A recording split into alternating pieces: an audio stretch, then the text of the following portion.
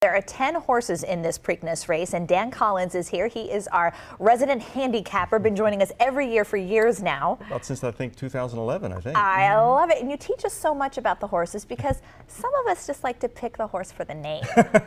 some of us do.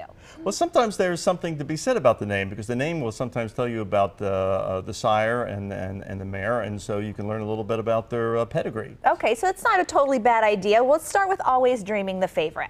Yes, Always Dreaming. Well, there's a good reason Always Dreaming is the favorite. Uh, winner of the Kentucky Derby.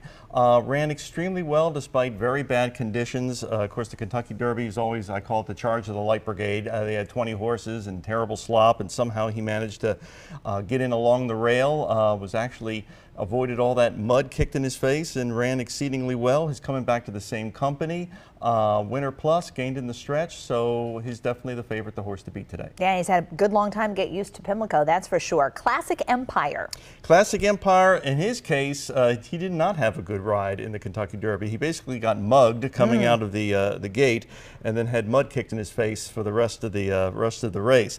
Uh, so he ran a little bit and decided, nah, I've had enough, and that was that. So throw out that race. His past performances do show that I think he'll be right with Always Dreaming mm -hmm. at the beginning, um, kind of laying second and third. Uh, I think we're going to see Conquest Mo Money go to the front.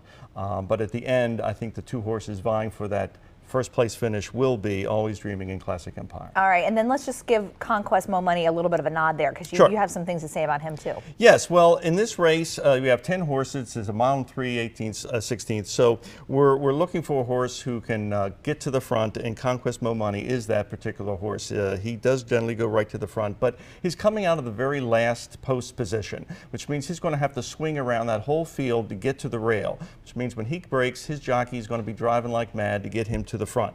And I'm looking at his past performances, when he does have that outside hole, he has mm -hmm. a mm-hmm. tendency to weaken at the end. And I think that's what's going to happen. By the time we get to the top of the stretch, he'll be running out of gas, and that's when we're going to see Always Dreaming and Classic Empire begin to move past him, and then the rest of the field.